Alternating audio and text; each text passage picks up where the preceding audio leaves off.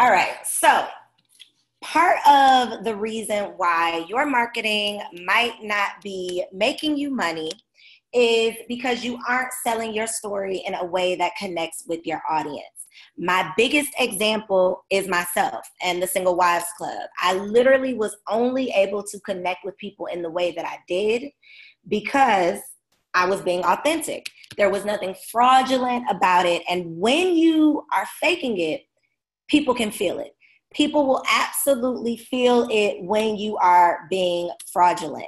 And so, if your marketing has not been making you money, it could possibly be because you are not being your authentic self or you are not sharing your story in an authentic way that connects emotionally with your audience nine times out of ten the inspiration behind your business is something that you are super passionate about it, it, you know so if you if you really think about your why, if you really think about your motive behind this business, it's not just making money, right?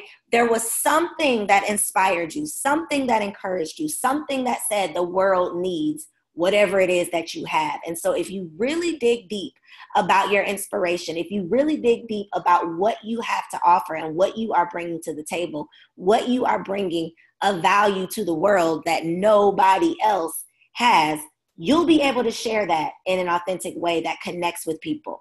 Okay. So going back to the question of, you know, how do you get media? How do you get press? How do you um, get interviews or get attention or, you know, get followers or uh, get clients? It really, truly, even though this probably isn't the answer that you want to hear, it really, truly starts with knowing who you are, knowing what you have of value to offer, and then positioning that in a way that gets the attention of people right? That that gets people interested in what you have okay? So one of the reasons why your marketing might not be making you any money is because you aren't painting a picture to your audience. You're not positioning yourself in a way that connects to your audience. So you want to make sure that you are selling your story because again facts tell stories sell. When you are being your authentic self you can sell yourself in a way that doesn't seem like you are a pushy salesman. You won't have to be desperate for sales. You won't be out here trying to work with everybody because you are confident in who you are. And you are going to be attracting people that are like-minded. You're going to be attracting people that are um, that see the value in what you have, that don't just like it, right? They're not just liking it on social media, but they are actually purchasing, they're buying, they're converting because they see the value in what you have to offer. Okay, so mistake number one that I see a lot of people making is not selling your story, not selling yourself through your marketing. You're making these flyers, you're posting this stuff, but you're not really painting a picture. You're not really sharing a story. Okay, the second reason why you might not be making money from your marketing is because nobody knows you. You might be frustrated because you are trying to sell your stuff to your friends and your family. Okay? If the only people who knows about your products and your services are the people who love you, that ain't it. That's not really going to make you money. Okay? You are going to exhaust that market really really fast. Your daddy might buy 10 copies of your book, right? Your mom might purchase 10 of your t-shirts, but after you have like emptied the pockets of the people closest to you, what is going to be your strategy to market to new people? What's going to be your strategy to get, get the word out there to the rest of the world about what it is that you have to offer? Okay. And it's not just about getting a lot of followers because there's people out here who have hundreds of thousands of followers, but they don't have hundreds of thousands of dollars. It's about really creating an engaging relationship with potential customers with people who can actually turn into dollars, with people who can convert into coins. It's not just about getting 10,000 followers if those 10,000 followers aren't going to turn into $10,000, $10,000, $10,000. Okay. So you definitely want to make sure you are strategic in your marketing. You're getting the word out to people other than the people that are already on your email list. I wasted a lot of time and a lot of energy and found myself feeling very frustrated because I was expecting all of my friends and my family and the thousand followers, right, to, to be my customers. You have to make sure there's a strategy in place to get new people on your list, new followers on your page, new traffic to your website on a daily basis. You can't sell to invisible people. Gotta have some people on your list, gotta have some people to sell to. When it comes to marketing, you're either playing checkers or you're playing chess. Checkers is when you are marketing one to one. You're trying to market your products and your services to one customer, right? You're getting on the phone and you're talking to one person about why they should buy your products. Chess is when you are marketing your products to the audiences of other people. So you're playing on a bigger scale. Instead of trying to sell your product to one person, you are mass marketing. Now you are exposing new audiences to your product. So you could partner with five people. Each of those five people have 5,000 followers. Now, instead of only marketing your stuff to your audience of 5,000, now you're marketing your, your products to an audience of 25,000. You have potential to reach 25,000 new clients, new customers, the potential to get or to have 25,000 people see your products and see your services. That's chess. Mass marketing, marketing your products, positioning yourself in a way, working with partners in a way that you're spreading the word, sharing your story to new audiences. Okay? Sometimes you you are literally spinning your wheels and you find yourself frustrated because you are so busy trying to market to the same people you creating this amazing content for social media but you're not getting any new any new eyeballs on your page so the same people that you already made that offer to last month are here to see the same offer next month you need some new eyeballs on that offer you need some new traffic to your page. So by partnering with other people, that's a really great way. Strategic partnerships are typically profitable partnerships. I partnered with three other entrepreneurs last summer for a webinar, a free webinar. From doing this free webinar with four other entre- or three other entrepreneurs, it was four of us total. We literally built a list of 5,000 new emails. So all four of us had access to 5,000 new people that we could market our products to. And we ended up making, I want to say, like $1,200 each off of a free webinar. Okay? That's the power of partnership. Yes, I could do a webinar on my own all day long, but why market to, to just my audience when I could partner with other people and, and introduce myself to their audience.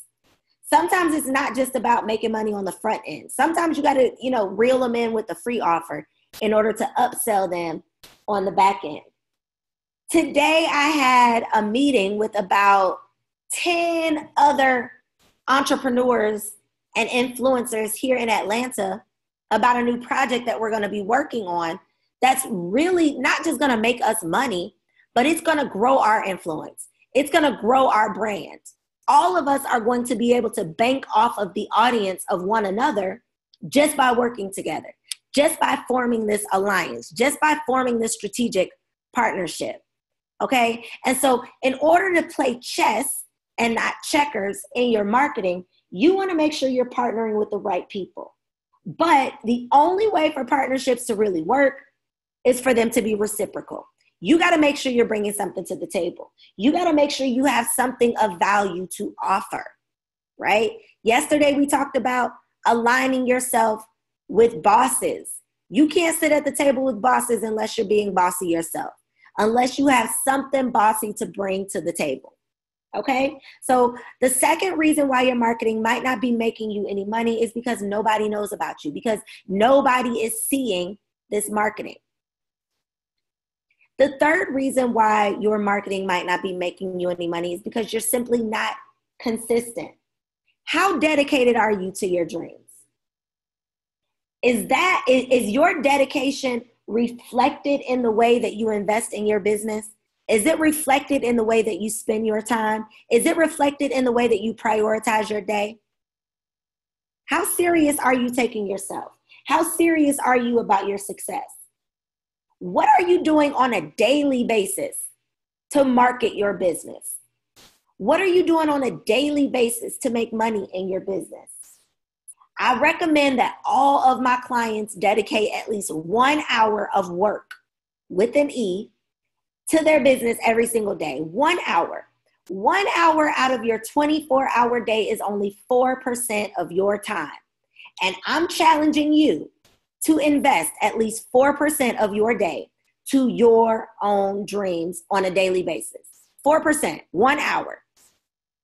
The work with an E is the effort and the energy that you are putting into your own dreams, not the stuff that you're doing for everybody else, not the time and the energy that you're dedicating to everybody else's to do list, the things that you are literally doing for yourself. So, how dedicated are you to your success? How serious are you about your success? What are you doing on a daily basis? Are you consistent in your marketing? Are you consistent in your content creation? Are you consistent? And doing something on a daily basis, that doesn't necessarily mean that you have to be working while you're on vacation on a daily basis. You can still make money while you're on vacation, but if you aren't going to be physically doing the work, that means that you got to have email responders doing the work. That means you got to have opt ins, landing pages doing the work. That means you got to have systems to flow, right? Put your business on autopilot. There has to be some structure, some strategies in place in order for you to create consistent income. Sometimes, you know, people have the following. Sometimes it's not that people don't know you. Sometimes it's that people know you, but you don't know you enough. You don't know what you're offering. You're not clear on your value. You don't really know how to package yourself and position yourself in a way that can get you paid. So sometimes it just comes down to having the right strategy. I literally had a session with a client on, I think it was, I want to say it was like April 16th. We talked about creating this new stream. She's in the beauty uh, business and she really wanted to create more passive income in her business. She didn't want to just be on her feet, she didn't want to just be doing faces all day long. And so we literally talked about a strategy for a new stream. And I just followed up with her today, and she has literally added 400 new subscribers to her email. She's created a new funnel. She has a new stream of income. And aside from just that, the one thing that she said today when I followed up with her that really, really stood out to me, she said, I'm actually excited to have more business. Instead of feeling stressed about more business, having to do more things. Now she has a strategy. Now she has some structure in place, a system in place where she can add another stream of income and not have to add a million more tasks to her to do list. Because we talked about the funnel, we talked about the email auto responders. She can literally copy and paste to respond to people, she knows what to say. So some of you, you know, people know about you. You got an audience, people know what you do, but you don't really know what you do well enough to package it, well enough to position it in a way that it's not going to stress you out. Position it in a way that you can actually make money. Okay? And so it's so important for you to understand that you got to be consistent and you got to be consistently doing the right things. Some of you are posting on a on a daily basis but there's no strategy. So you're posting 5 times a day but you're not getting any engagement, you're not converting any of those followers into funds because there's no strategy. And if there is a strategy, you're not being consistent enough with that strategy. The fourth reason why your marketing might not be making you money is because you're selling the right stuff, but to the wrong people. So, do you even know your market? Do you know who your target client is? Not who you want to work with but who's the person that sees value in what you have to offer? When I started the Single Wives Club, I was working with anybody, anybody who had the coins, anybody who, who thought they were a single wife, anybody who identified with my story. I was all over the place in my messaging. And because my messaging was not clear, my marketing was not clear. Okay. And so sometimes you got the right stuff, but you're selling it to the wrong people. You have to be really, really clear about who is going to see value in what you have to offer. Not just who's going to think it's cute and like it on Instagram, who's actually going to see value in paying for it, who's going to see value in investing in it. Does your audience actually want and value what it is that you offer? Sometimes it can be as simple as polling your people. Survey your audience and ask them what they want from you. Survey your audience and ask them what they are willing to spend. Survey your audience and ask them what topics, what products they want, what they're interested in, what they want from you. It's really that simple. If you are, you know, feeling frustrated because you have this audience, but they are not converting, you might not be selling the right thing to the right audience. Not to say that you got to get rid of that audience, but that means that you're you're then gonna have to go and, and find out what that audience actually wants, what they value, and what they're willing to pay you for. Okay? Sometimes you are selling yourself to the wrong people because you've partnered with the wrong people. Partnerships can be super, super beneficial for your business, but it has to be the right partners. When I first started the Single Wives Club, I was partnering with, I don't even want to say what this person did, but let's just say this person did not have the right audience. So even though she had 70,000 followers, it didn't really work out for me. It didn't turn into money because our audience wasn't really a single wife. They weren't really the single women who saw the need to invest in themselves to be a wife. Okay, so yes, this partner looked good on the outside, right? Those 75,000 followers looked really good, but it didn't convert into money. It wasn't really beneficial because it wasn't the right partnership. And so you can't just be so thirsty to partner with somebody that got a lot of people. Okay, don't be so thirsty to partner with somebody that has a lot of followers if their followers aren't really people that are going to be interested in what you have to offer or aren't really going to be interested um, or see the value in paying and investing in what you have to offer.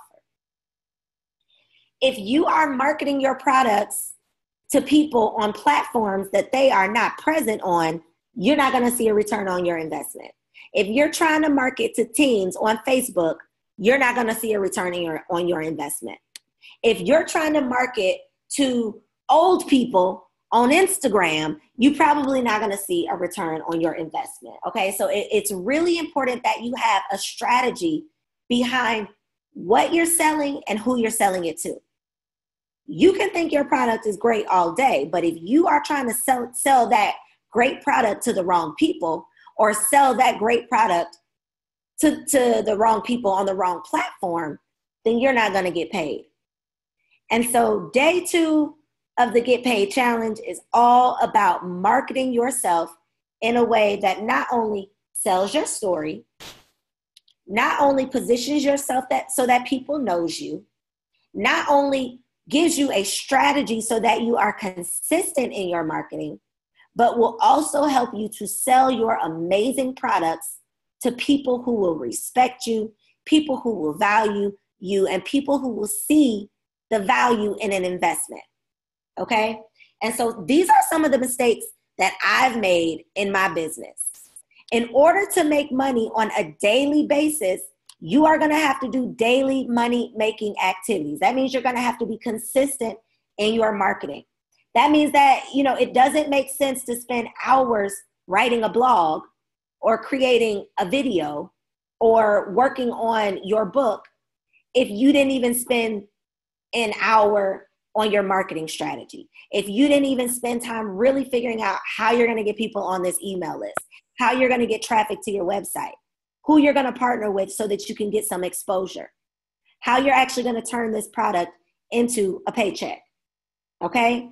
So it's very, very important that you are marketing yourself and positioning yourself in the right way on a consistent basis. Now, once again, I am going to invite you to take action, to really, truly not just take this information and sit on it, not just consume this information and you know take it back and, and leave it in your notebook and go on about your business. I really want to invite you to stop talking about it and start being about it. And so once again, I have sent you all an email on how you can take action. If you are really ready to work, if you are really ready to get some strategies so that you can have some structures behind your business, so that you can put some systems in place, then go to that email, find out how we can work together one on one so that you can take action and put some strategy behind your marketing. Okay. Yesterday was all about having the right mindset. Today is all about having the right marketing behind your product. Even if you don't have a business or a brand just yet, we can definitely work together to come up with a strategy so that you even know which idea should take priority. Because a lot of you all are sitting on great ideas simply because you don't know which great idea to move forward with. You're not sure which amazing idea is actually going to make you money. So let's talk about it. Let's work on it. But I promise you, if you do not take action, you are going to find yourself stuck in the same old spot, wondering why everybody else is getting to it, wondering why everybody else is getting wealthy. Okay? I hope that this has been helpful. I hope that you have enjoyed day two of our Get Paid Challenge. Please go on over to Instagram let me know some things that you took away from tonight's lesson. I truly appreciate you sticking through these technical difficulties. Go check your email right now for information on how you can take action and get to work. Be back here tomorrow, 7 p.m. Eastern Standard Time. Day three is all about monetization, and you won't want to miss it. I will see you there.